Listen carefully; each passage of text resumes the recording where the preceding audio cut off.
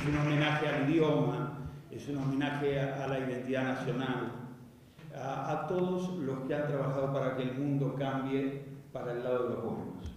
Muchas gracias. Significa un poco lo que dije, lo que acabo de decir, que es devolverle a, a la educación argentina todo lo que me dio.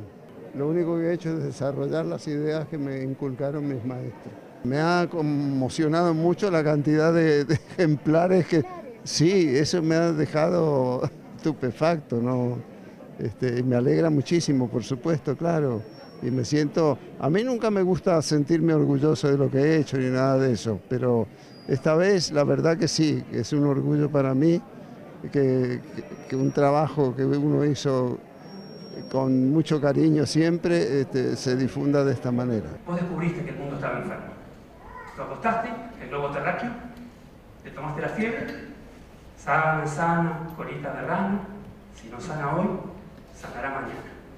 Pasaron 50 años, ¿sabes? Y yo te diría que los conflictos son casi los mismos y en los mismos lugares.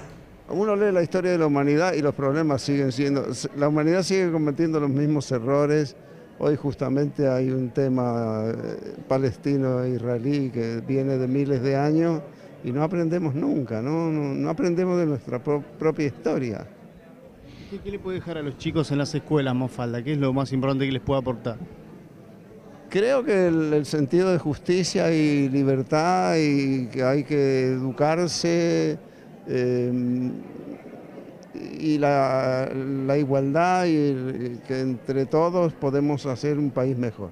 Quino y, y su producción, Mafalda fundamentalmente, este, tiene una presencia este, extraordinariamente eh, importante y visible en las escuelas argentinas.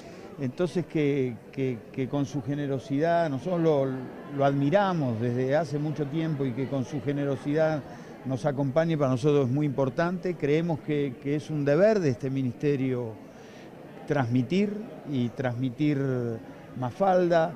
Ellas hay una colección de 10 libros que, van a todas las escuelas primarias, secundarias e institutos superiores. Hay librillos que son una serie de cuatro que van a ir eh, envueltos, eh, 10 millones de librillos, o sea, 10 millones de, colecciones, o sea, que son 40 millones de librillos va a haber 2.300.000 eh, desplegables de la Declaración de los Derechos eh, de, los Niños con, con, dibujos de Quino.